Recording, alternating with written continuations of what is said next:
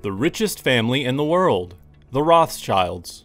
In the history of the world, there have been several wealthy and powerful families. These include the Waltons, Ambanis, and the Thompsons. So, how much do you think these families are worth? $1 billion, $4 billion, or $8 billion? The answer may startle you, but it's none of the above. The world's richest families are worth a lot more than that. We're talking between 30 billion to well over 200 billion dollars. One family that falls into this exclusive bracket of wealth is the Rothschild family. And in this video, we'll be taking a closer look at how this family became one of the wealthiest in the world. Before we get into it, kindly hit the subscribe button to stay up to date with more interesting videos like this. Overview of the Rothschild family. The Rothschild family have Jewish origins, and they became a force to be reckoned with thanks to Mayer Amschel Rothschild. They are of German descent Frankfurt to be specific. Mayer Rothschild was a court factor of the German Landgraves of Hesse Cassel and Frankfurt, who ventured into the banking sector sometime in the 1760s. Mayer expanded his business internationally with the help of his five sons, who he put in charge of his business in Paris, Vienna, Frankfurt, London, and Naples. It was only a matter of time before a successful business mogul and his family would attain the noble rank in the Holy Roman Empire, as well as the UK. Their family name comes from the family house of Rothschild, which was built by Isaac Elchanan Bacharach in 1567. The house was also located in Frankfurt, Germany. In the 19th century, the Rothschild family owned the largest private wealth on earth. However, the 20th century saw a decline in the family's wealth, as it was split among many of its descendants. As of today, they have stakes in many economic sectors. These include real estate, mining, farming, winemaking, nonprofit organizations, and of course, the financial sector. As you would expect, a family as rich and as powerful as theirs wouldn't be spared of conspiracy theories, most of which circle around anti Semitism. The Napoleonic Wars. Before the Napoleonic Wars in 1803, the Rothschild family already had a notable amount of wealth to their name, as they were major players in the bullion trade. Nathan Mayer Rothschild was majorly responsible for funding the British War between 1813 and 1815. He did pretty much single handedly. He oversaw the shipment of bullion to the armies of the Duke of Wellington all over Europe, and he paid British financial subsidies to their allies. In 1815, the Rothschilds made over 9.8 million in subsidy loans to the British Continental Allies. This figure is equivalent to about $869 million today. Mayer's sons assisted with the coordination of all Rothschild activities across Europe. During this time, they established a network of shippers, agents, and couriers who transported gold across Europe, which was in a war crisis at the time. The family network was also responsible for providing Nathan Rothschild up to date information regarding political and financial happenings to ensure he stays ahead of his peers information wise. With a good exchange of priceless information, the Rothschild family ensured they remained relevant and invaluable to the British government. There was an instance where Nathan, who was in London, received information from the family network that Wellington had won the Battle of Waterloo.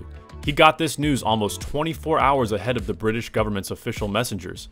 Being the first to get this news, Nathan had a financial advantage on the market, yet that wasn't his priority. Instead, his most pressing concern was to take the news to the British government although some accounts claim he did use the news to gain financial advantage in the market. That aside, the Rothschilds' most profitable play was made after the news of Wellington's victory had already been spread. Nathan Rothschild figured that future cuts in government borrowing, due to the newfound peace, would bring about a bounce in British government bonds after a two year stabilization period, and this would help restructure the domestic economy after the war. Nathan made one of the bravest financial moves the world has ever seen. He quickly bought up the government bond market for what many considered to be an outrageous price. He then waited two years and sold the bonds off a short bounce in the market in 1817.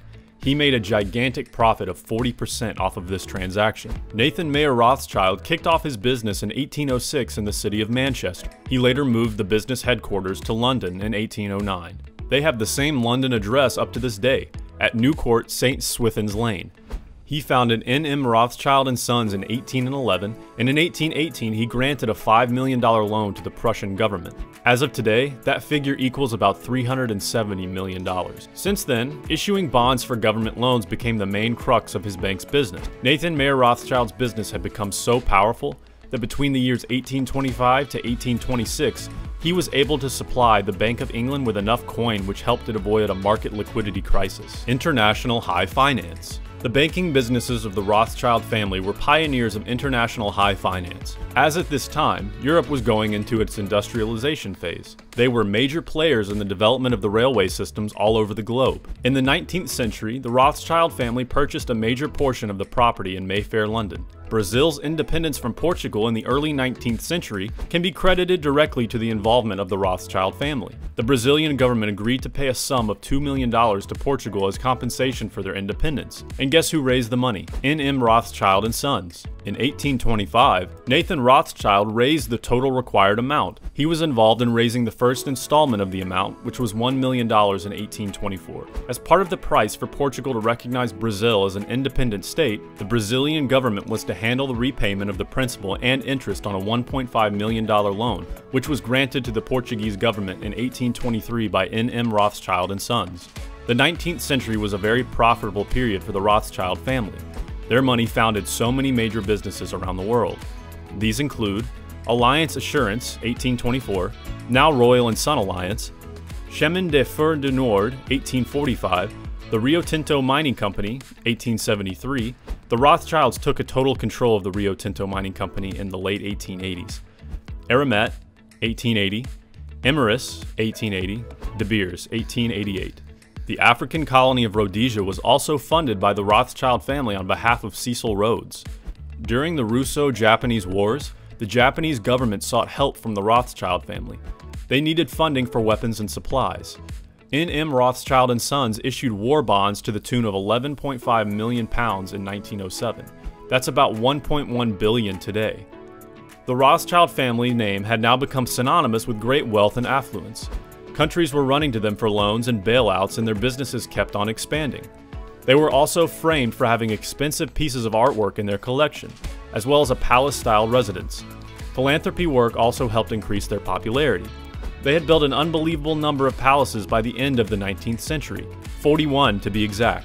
These were no ordinary palaces, as they were at par or even more luxurious than many royal palaces. According to the British Chancellor of the Exchequer Lloyd George, Nathan Rothschild was the most powerful man in the world as at 1909. The Frankfurt House was closed in 1901 after over 100 years in business. This is because there was no male heir to take over. However, the family business returned to Frankfurt in 1989 when the British investment arm, Bank Rothschild AG, the Swiss branch, and N.M. Rothschild and Sons set up a representative banking office there. Modern business, investment, and philanthropy. The Rothschild family has maintained an out of sight public profile since the 19th century. Since then, they have given away several artworks, estates, and money for charitable causes. They did many of these charitable works discreetly. The modern day has seen the Rothschilds' business reduced to a smaller scale than they were during the 19th century. Nonetheless, their business ventures still cover many sectors in the world economies. These include mixed farming, real estate, energy, winemaking, and financial services.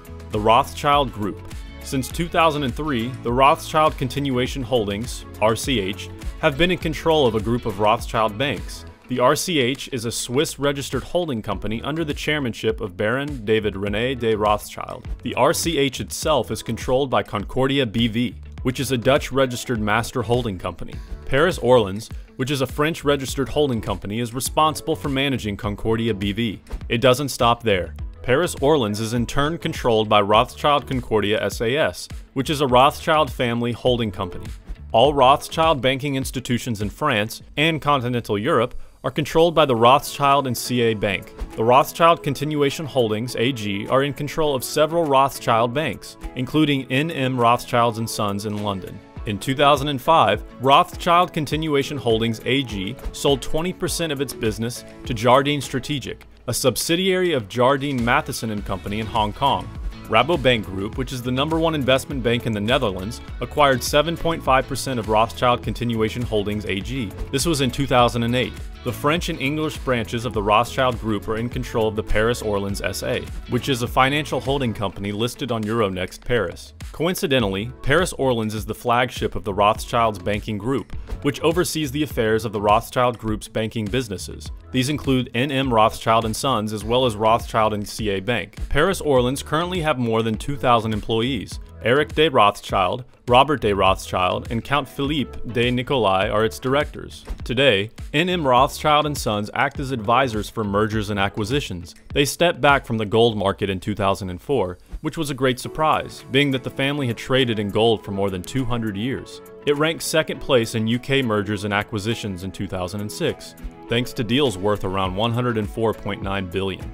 In the same year, N.M. Rothschild Sons recorded an annual profit of $83.2 million pre-tax, with assets of around 5.5 billion. Wine businesses. For over two centuries, the Rothschild family have been in the business of winemaking. Nathaniel de Rothschild bought the Chateau Brane Mouton in 1853, which he later renamed to Chateau Mouton Rothschild. Years later, in 1868, James Mayer de Rothschild acquired Chateau Lafite, which he also renamed to Chateau Lafite Rothschild. As of later today, the Rothschild family are among the most prolific winemaking families in the world. Rothschild Art and Charity. When it comes to art, there is hardly a family you can think of in the world that has a more prized collection than the Rothschild family. At a time, they boasted of the largest private art collection on earth. In fact, a huge portion of the world's public museums are filled with art donations from the Rothschild family. Some say many of these donations were not made public, as the family preferred to remain anonymous with their donations. However, it's hard to remain anonymous with such expensive donations. In 2014, Hannah Mary Rothschild was appointed as chair of the board of the National Gallery of London. Conclusion now you know how and why the Rothschild family are among the wealthiest in the world. Their ventures from finance to real estate and winemaking have set them ahead of many other wealthy families in the world. Don't forget to subscribe to this channel for more content such as this. Thanks for watching.